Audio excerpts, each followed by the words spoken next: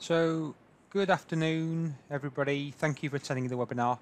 Uh, today, we'll be taking you through a number of aspects with modeling and CFD, uh, specifically looking at an Apex and Cradle workflow.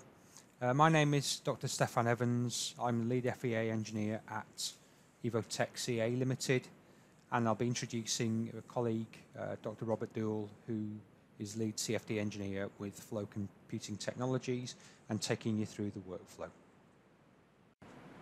So looking at the MSC product portfolio, we've got many different tools for uh, linear, nonlinear FEA, material modeling, acoustics, explicit analysis, uh, multi-body dynamics, and now, of course, fluid and thermal modeling with Cradle.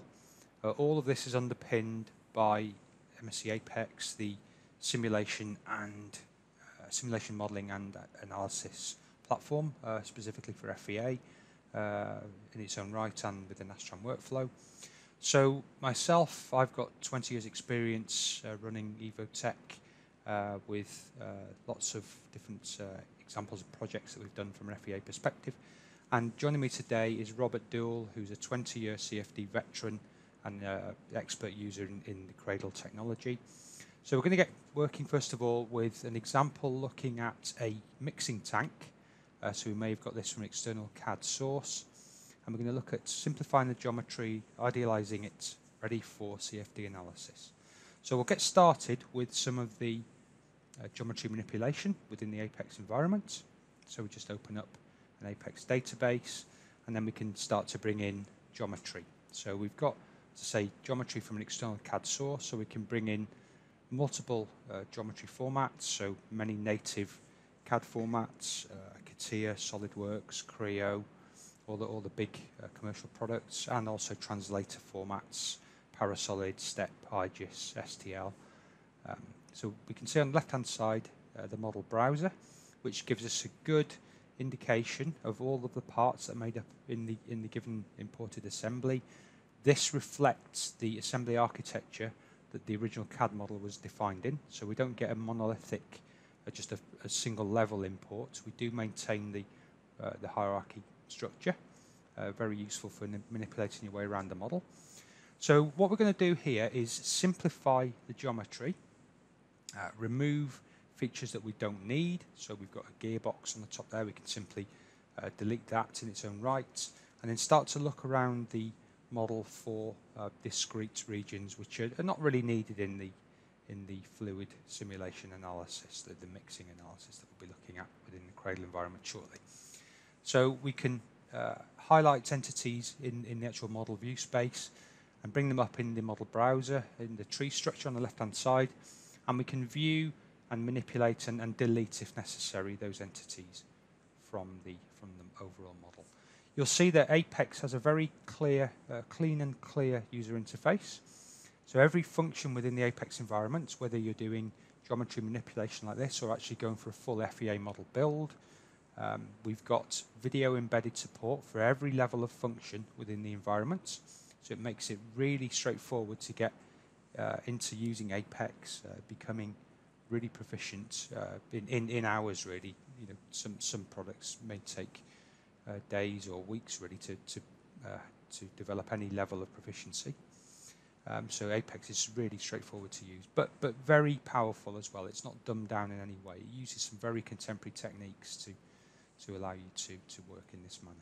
So again, we're just showing the central shaft here for a mixing tank, and some of the uh, just just popped out of view for a moment.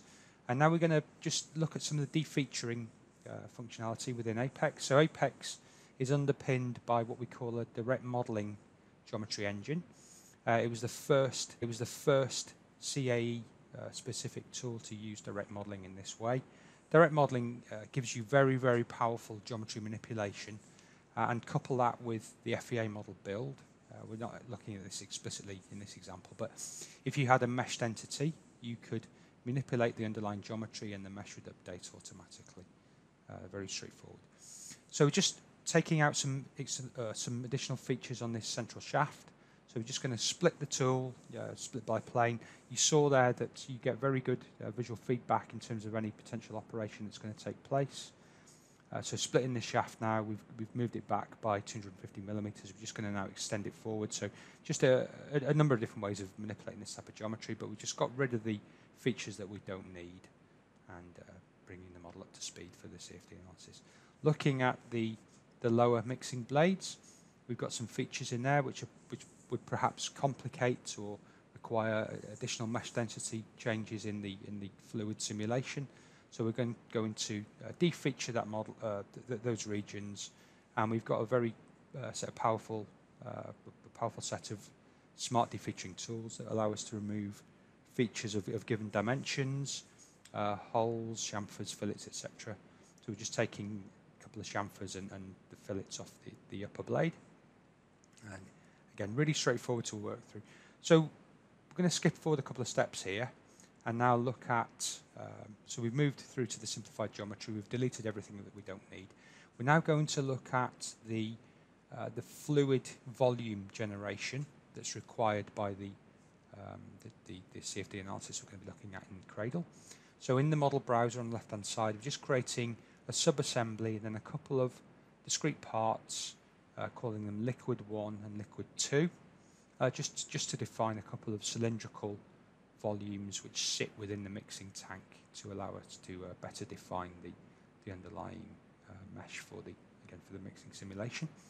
So we can literally drag and drop um, entities within the product hierarchy or the, the assembly hierarchy. Really straightforward to work with the model in this manner. And then just measuring the internal diameter of the, the overall cylinder um, and then just taking that dimension and then sketching a surface on the, uh, the, sort of the external plane of the cylinder or the, the utmost plane of the cylinder and then redrawing that surface.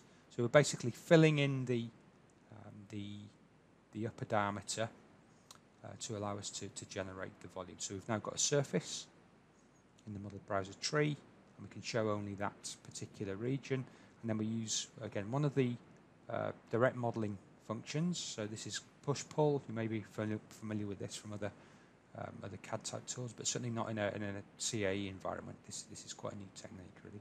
So we just extrude that into the third dimension and then repeat that for the, the second liquid, second, second liquid region, I should say. So we're going to set that as current uh, in the model browser. And then we can sketch a new surface cylindrical surface, rather um, circular surface on, on, on the face of this existing volume and then extruding that, extrude that up into the third dimension again, just to give us some volume control for the subsequent analysis. Again, great feedback. We can see everything that, that's going ahead. We, we, we get uh, indication of what, or visualization of what's going to happen before we, we do any operation. There's lots of what we call at cursor support. So we're inputting at the cursor, rather, in, inputting data at the cursor rather than having to go back and forth endlessly through um, deep sets of forms, uh, which you may have seen in other tools. So we've got a couple of cylinders now built into the, the overall assembly architecture. So structural entities defined and also the, the fluid volume entities as well. So we can uh, set the transparency. So again, lo lots of really powerful display controls. So we just we're just changing the transparency of the overall assembly, so you can see the relationship between the volumes and the, the central shaft and the mixing blades. Uh, obviously, very important for the subsequent analysis. So we're now in a position where we've cleaned up the geometry. And again, bear in mind that this is all done through uh, a single MSC1 license. So if we've got licenses for Apex, we've got licenses for Cradle. We can export the Parasolid file and then take that through into the Cradle environment. So we're just going to move on now to the, uh, the second stage in the workflow, where we look at this with the Cradle CFD analysis. And I'll hand you over now to my colleague, Robert Dul, who will talk about the CFD simulation of the initial design. Thank you, Steff. Welcome, everyone. I'm Rob, the lead CFD engineer at Flow Computing Technologies. This 2 cubic meter tank has been designed to heat up the water-like fluid faster by keeping it moving and in continuous contact with the heated shell.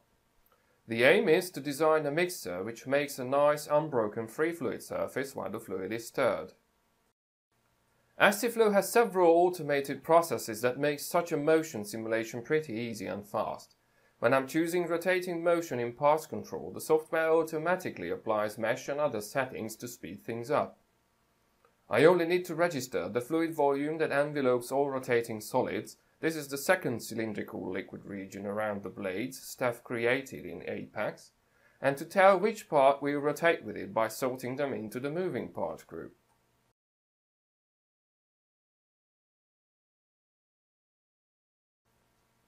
Next is building analysis model, which basically means automatic small surface test, filling closed cavities, and if all checks out, final step is tessellation, which means splitting the model surfaces into small triangles.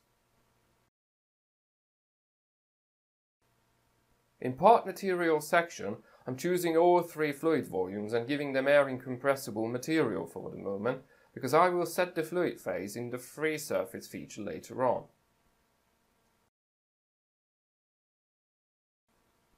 In region registration, I'll start with a numerical region called initial water level, and this tells which part of the tank is filled with fluid before we start spinning the blades.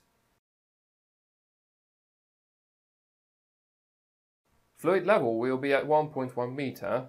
Preview shows that the plane is at the correct height. There is no inlet and outlet in this geometry, so I can't place a 0 Pascal static pressure on any of the surfaces. But the solver has to know what the pressure in the tank is, so I'm registering a point in the top corner away from the fluid and I will apply static pressure to this point later on. When I built the analysis model, I used a feature to automatically associate CAD model colors with surface region names. I have a list of RGB colors and region names and when the model building tool finds a color in the CAD file, it names the surface accordingly. And it works a treat. The thin edges of the top blade are not in the blade edges region, but I need these to assign finer mesh here, so to quickly show you how it goes, I'm adding them to the blade edges region manually. Here are the two blades, but I only need the top one, so I hide everything else. I activate the region registration feature and I click on the blade edges region in the list because I'd like to make this region name active so that I can save myself the hassle of typing the name in again. I'm deselecting the big surfaces of the top blade one by one, there are only five of them so it doesn't take too long. This way, only the thin edges will stay marked so when clicking register, SCFlow asks if I want to add them to the existing region and that's it. Regions are now complete.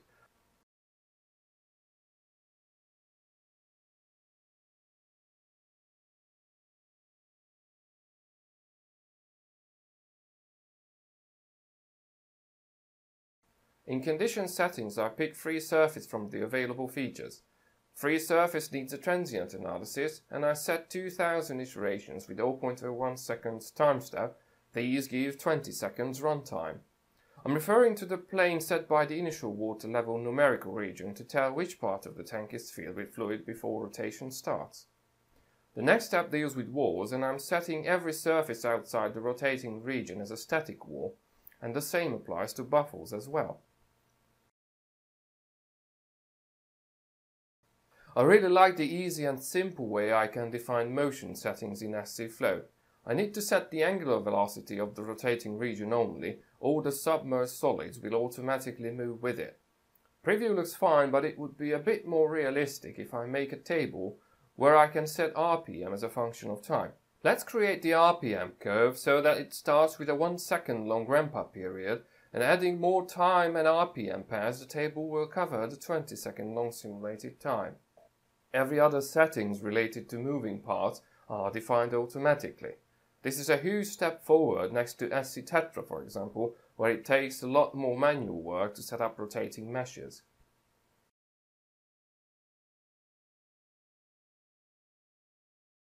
In free surface I choose air incompressible for gas region and incompressible water as the liquid region. With water chosen, its surface tension is automatically set. In output settings, I tell the software to save every 40th iteration and the initial field to have a results file showing the initial undisturbed free surface too. Torque needed to turn the shaft is an important figure for the mechanical designer because it helps him choose the right motor and gear drive and it's important to me because it's a very good indicator of a converging solution so I'd like to know it in every iteration. With this, boundary conditions are all set. In SCFlow, mesh element sizes are represented by cubes, also known as octants. Size and number of octants on a surface show how small and how many elements a surface will have when the mesh is ready. There are manual or full automatic modes. In manual mode I can set minimum and maximum base cube size, both are 20mm here, and in regions I can assign smaller octant sizes to surfaces that need better resolution. I can set octant sizes for all important regions one by one, or I can use one of my macros, which is a recording of a previous manual octant size assignment. It has the list of region names and cube sizes as a text file, and I can replay it to set everything in one go. These macros work best if I keep surface region names the same. If I follow my naming rules in every geometry version of the mixing tank project, I'll be able to reuse the same macro for all of them and it will save me a lot of time. I can check how octant sizes look before mesh is finalized.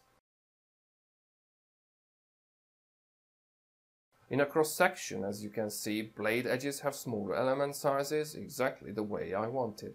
If there's a volume or surface that needs further refinement, I can do that by changing the octant size in the macro and run it again, or I can do it manually by selecting octants on the surface. I can mark any registered region and make the software show the octant size.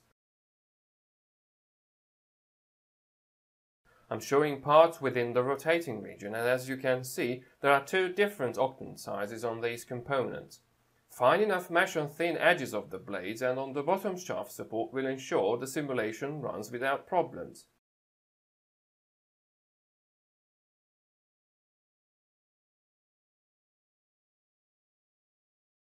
In mesh parameters I'd like to use three boundary layers around solid walls as default but in details I have the same full control and I can use the list of regions to give more layers and a different thickness to any registered surface.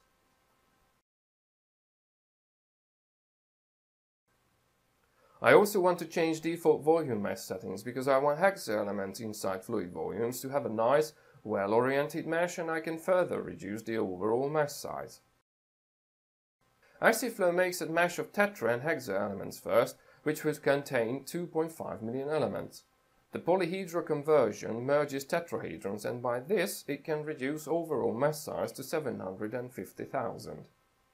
I have the mesh ready and as you can see every triangle on the surfaces has been merged to polygons and every remaining tetrahedron in the volume has been merged to polyhedrons.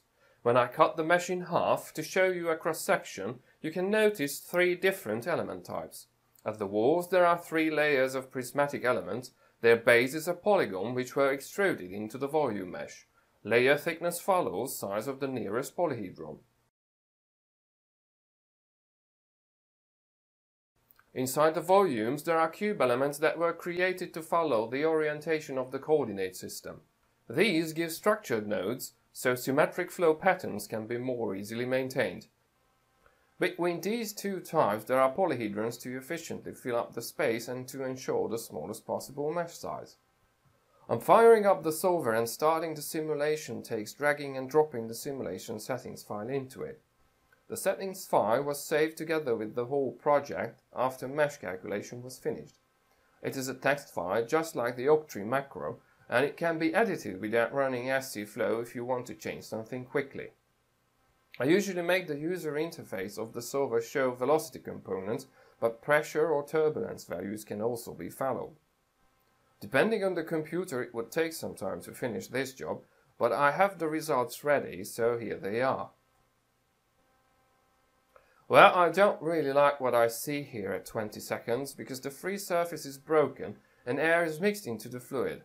The intermediate result at 10 seconds isn't any better either. This tank is supposed to get the fluid moving to increase heat transfer at the heated shell, so the fluid can get warmer faster. The ideal result would show a nice unbroken free fluid surface with some minimal vortex near the shaft. But to sum it up, we are not there yet. If I play the video the software makes of the results, we can see the whole 20 second long process. It is just the first 20 seconds, but I'm quite sure once the fluid surface is broken, water will never be able to settle again. There will always be some gas mixed into the fluid, so heat transfer won't be good enough.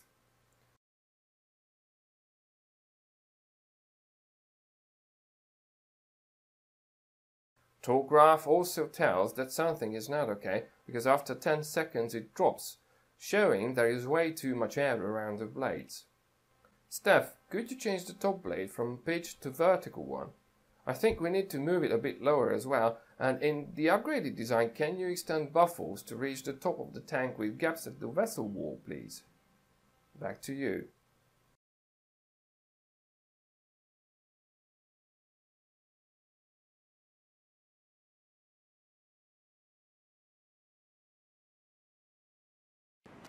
Okay, great. Thank you, Robert. Uh, that, that gives a really good insight into the, the fluid response.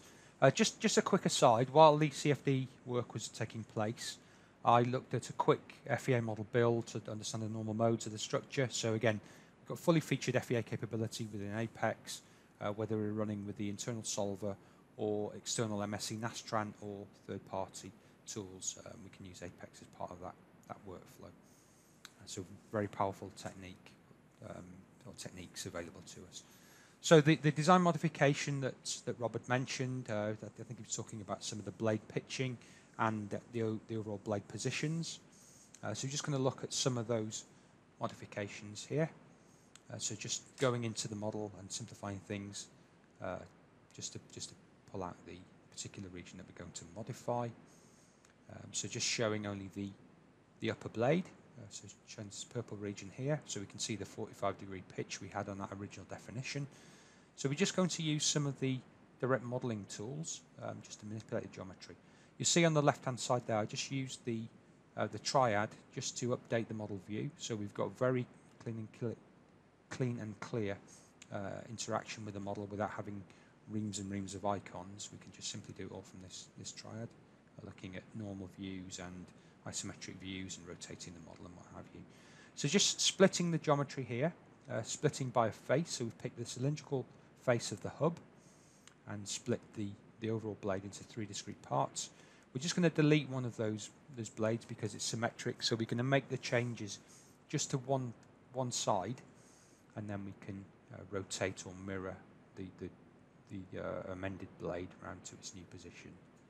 Um, so we're halving the work that we need to do by doing this. Using the transform manipulator, again, lots of powerful controls here, all, all set and controlled through a very simple uh, user preview interface. So we can see here we're, we're setting an angle um, and we, we, get an update of what the, the object's going to do. There was a typo in there, I don't know if you saw that, but I, I rotated the model by minus four degrees and then by positive 45 degrees. So we've got, a, again, a misalignment. So if you just use the, um, the, the, transform manipulator again, just viewing uh, normal to the plane, we can see that misalignment. So again, rotating by 4 degrees. And we can use the right-hand rule or, or, get the update uh, live on screen. So we can see the, 4 degrees sets that back now to, to a vertical pitch. So very straightforward. And now we can start to chop the, the purple blade up into uh, a representation that matches the hub, um, hub definition. So at the moment the blade is slightly longer than the hub. So we're just going to split based on the upper plane of the hub. And repeat that top and bottom.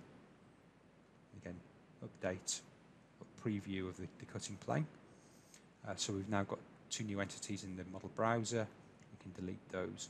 Uh, we, we would make these changes. Obviously, we're doing this for, for an external CFD analysis, but equally, if we're looking at uh, 2 or 3D meshing for an FEA perspective, we could um, idealize in a very similar manner. And lots of powerful tools here that um, give you access to, to that functionality.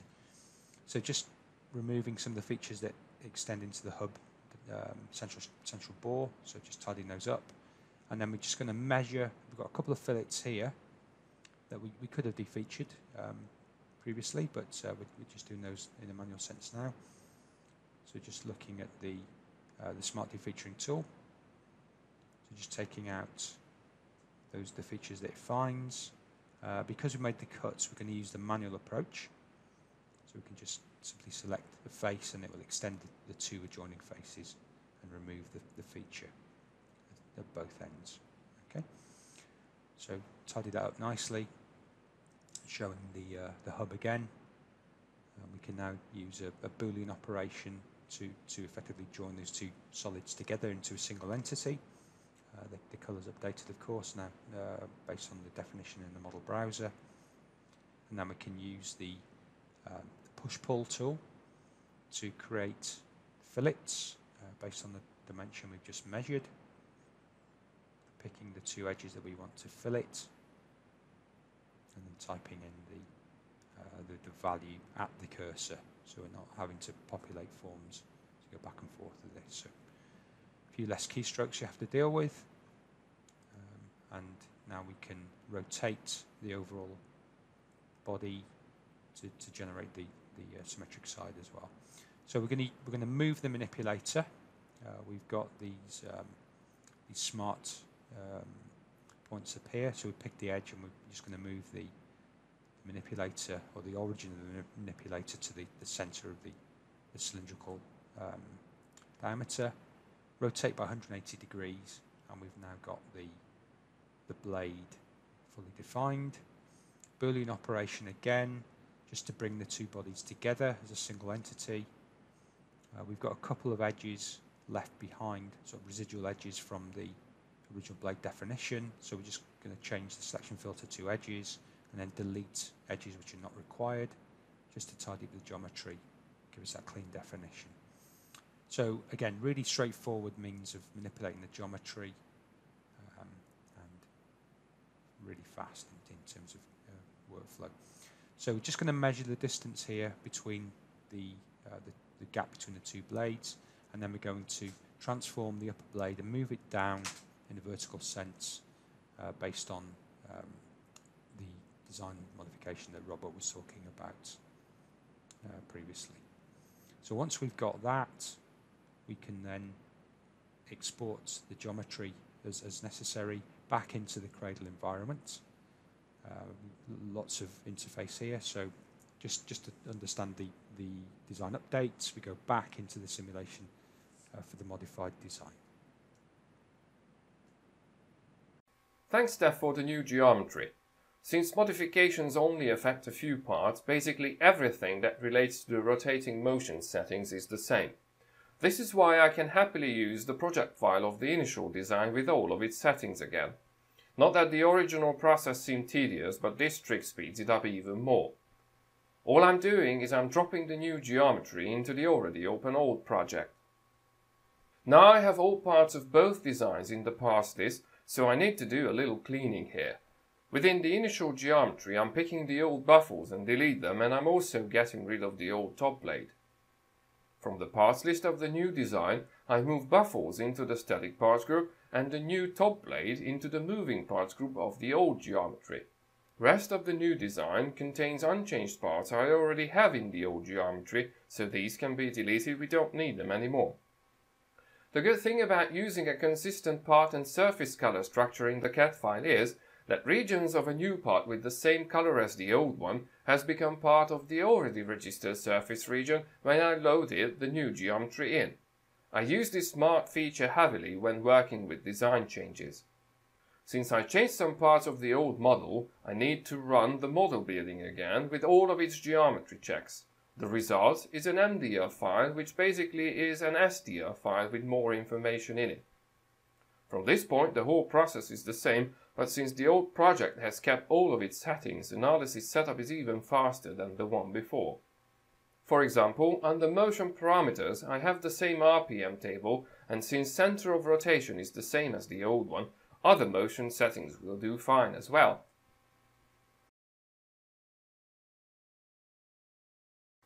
The system also has kept the same free surface settings as before.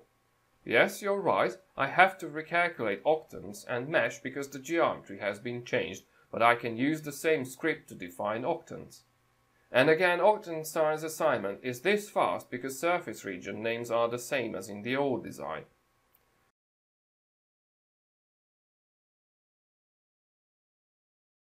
A cross-section of the model shows that octree sizes look similar to the one I have made for the initial design.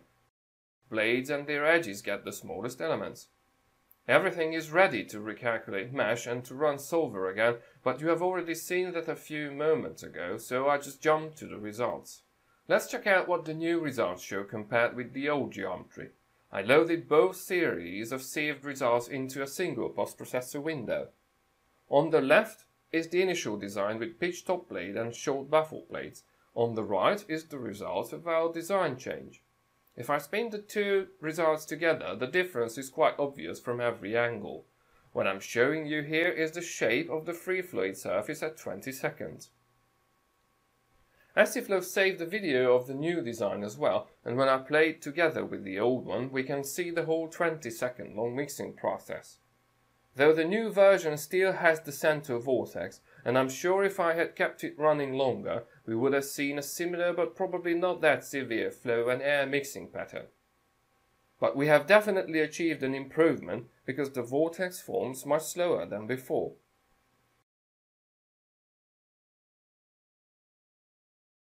Looking at the torque graphs, these also tell that the new design on the right is better graph is much closer to a good and horizontal shape within these 20 seconds than before. Well, in a real-life design process, this modified geometry would be just the first step in a series of design changes. But we have the right tools to quickly change the shape and to set the simulation up with the least manual interaction. I believe this efficiency is what matters when working with design changes. Thank you and back to you, Steff. Okay, Robert, thank you for that excellent presentation showing the, the complete workflow uh, back and forth between Apex as a design modeler and FEA tool and a Cradle scFLOW for the CFD and mixing tank analysis. Um, if you need any further information, uh, please don't hesitate to get in touch. You'll see the email addresses available for myself, uh, Steff Evans, and Robert Dul who's um, listed there as well. Um, and we'll draw it to a close. Okay, thanks for attending.